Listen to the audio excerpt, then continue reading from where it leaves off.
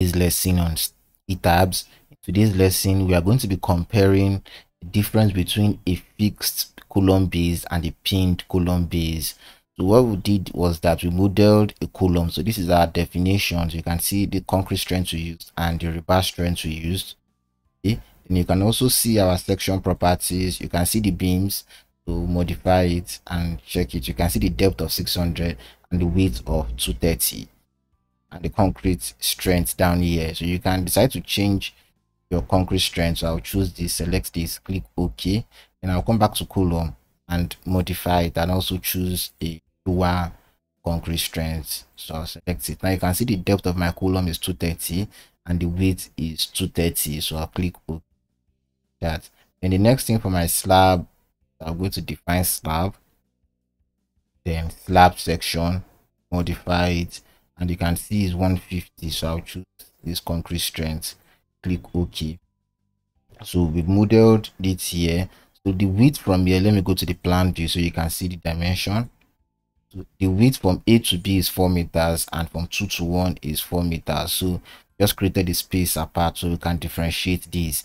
Now looking at the base we've assigned different supports. Now you can see the first building is fully fixed and the second structure is fully pinned we've applied the load. Now the load on our slab is on both slab for the dead load 3 kilonewton per meter square. That is excluding the self weight and the live load is also 3 kilonewton per meter square. Same thing with the other. Select it and you can see 3 3 okay. So for the beams you select it right click on it go to sorry that's slab and see the beams. So all the beams there are selected as seven. The load on the beam so you can come to display and let's go to load assign so let's go for now. Let's go to frame. I want to check load. You can see it. You can see all the load assigned on the beams. Okay. Same with that of the shell. You go to display load assign let's go to shell. Let's go to this apply and see three for dead and let's see for life too. Also three for life. You have no issue with that. Now the next thing we are going to do is we are going to run the analysis and see what gives us. Let's go to analyze and run analysis. okay so you can see the wall be meshed already. Now just from the visual and uh, displacement shape you can see the way the columns are bending. Now you can see the fixed one fully fixed here no rotation here. And you can see it's almost almost fixed at the top but there's a little rotation more rotation at this point. Unlike this one which is buckling in this direction you can see that. Now the next thing we are going to check now is we are going to check the bending moment diagrams for the columns. Let's go combo. By using the ultimate so apply. Okay so but before that let's go to the plan and let's see the beams and plan. So we can see it's almost similar. So let's see the difference. So let's go to this and let's fill it. Okay so can use this and apply. Now at this point here we have 56.62 at this point here we have 58 so this is the pinned one and this is the fixed one at this point here. Now at this point we have 56 also that's why 58 so because it's symmetrical we should get equal um moments so next we do is to check the, the uh, moments bending moment of the column. So we can just choose an elevation. Let's pick one elevation maybe grid line uh, one. And one so we can see the four of them. So we can see this now. At the bottom here we have negative 4.97 and here too we also have 4.97 at this point we have zero we have zero which is the base. So at the top we have 7.7.043 and here we have negative 7.043 at this point we have 6.4 and at this point we have negative 6.4 so we can see that we have a moment here at the base here and for the pinned one we have zero.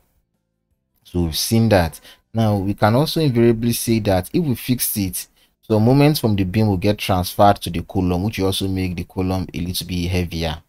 whilst for the pinned one some moments from the columns will be transferred to the beam so we'll have more bending moments in the beam which is 58 and 56 we've gotten that already seeing what we need to see we can also check the shear forces to see if we have any issue with that. So let's go to axial force and apply. Let's see it. So at this point we have 57.961 we here we have 57.8 okay? And here we have 57.81 at this point we have negative 5 we have 5 and here we have 2.6 so which means this is like half of is invariably. Saying that but this is always for the pinned the shear force will be lesser than the so next thing we're going to do is we're going to see the reaction if it's the same. Let's go to plan plan and let's go to the base. Select it. Now let's come to the reactions. Choose your combination. So let me pick tabulated arrows. Better. The fz at this point we have 115.15 115.15 115.15 115.15 115.15 so we can see that all the gravity loads are all equal. Just depends on how it redistributes the load. Let's see fy apply. You can see fy we have 5.01 5.01 you can see it in this place is bigger here but at this point is lesser at this point because this is pinned and fixed. Let's see fx apply so we have 5.01 5.01 2.67 2.67 so you can see what we are saying okay? Next thing we want to check now is to check the moment x in the m direction to apply. So at this point we have 4.9 and here we have zero because for pinned there is always no moment. So let's check the my apply. You can see the my also this direction. We are done with that. Okay. so let's go to the design let's highlight this structure. I highlight the structure we've seen the forces and we've seen that we expect from what i'm saying we expect lesser reinforcements on this pinned column and more reinforcement on the fixed column from what we are seeing. Then for the beam we expect lesser reinforcement for the fixed beams and we expect more reinforcement for the pinned beams. Let's come here. That's what you want. Want to use the national annex and set all these other parameters you wish to. Okay then come down here again and i'm changing the framing type so i'm changing it to dc low. There's no seismic. And that's my time now let's see. So what is saying invariably is that the load is equal to each of them. You can see it now select this right click on it. Or let's choose this. Use. Come to increase the view. Select it. Let's go so you can see at this point here now we have the design load of 110 this is because we picked it at that point of 2.4 so we have 110 and see it is using nominal reinforcement we can see what we are saying nominal reinforcement. You can see the moment design moment minus 6.4 and 7.1 let me pick another one. Something similar to it. You can see the moment here is more. Yeah, we had minus 6 and then we have 7 so you can see it. So we're still providing us with nominal reinforcement. That is probably due to the concrete strength we and the high grade of steel and the load is quite low. You can see 110 very low. Next thing we do is let's see our beams now. You can see the beam here now. The beam like i said for the fixed one is going to be lesser which is 263 and for the pinned one is 270 you can see invariably now what is telling us that if we fix it they are going to share moment so some moments from the beam will come to the column if you pin it most moments in the column will go to the beams. You have more moments in the beam.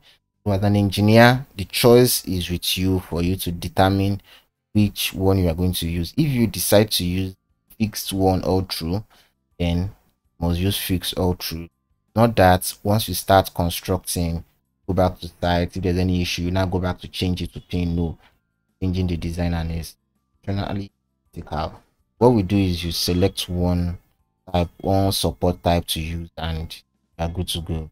Thank you for watching today's video. If you have any question you can drop it in the comment section. Thank you very much